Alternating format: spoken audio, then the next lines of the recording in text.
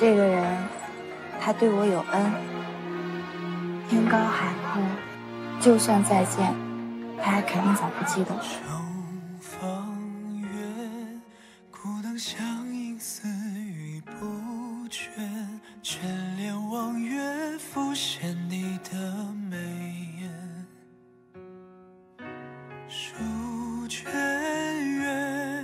儿子没病，他是被你家姑娘给克死的。让开！女子迅捷守寡，自古人人都是如此。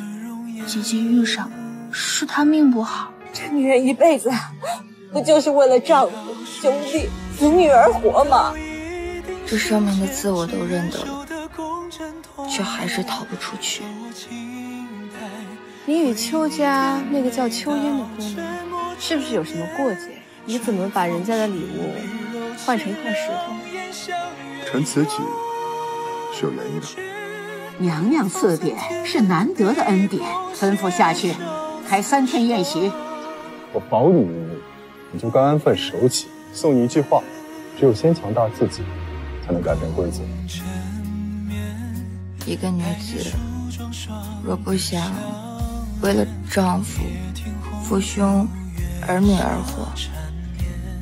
只想为了自己活一遭，是很大逆不道的罪过吗？贺峰不是死于恶疾，更不是被我克死，而是死于毒杀。只要你把证据摆在我面前，我就还你公道。我与你的处境是一样的，可不一样的是，你认命了，而我没有。要我帮忙也不是不行，求我，我就帮你。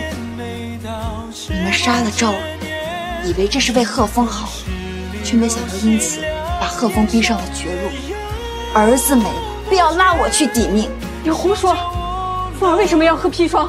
因为他早就知道是你们杀死的赵人，可你们是他的父母，他没有办法拿你们怎么样，所以只能在你们为他操办的婚礼上服毒自杀，用这个方法当做是对你们的报复。大人在看什么？说你一向横眉冷对，苦大仇深的，刚才猛地见你一笑，好神奇。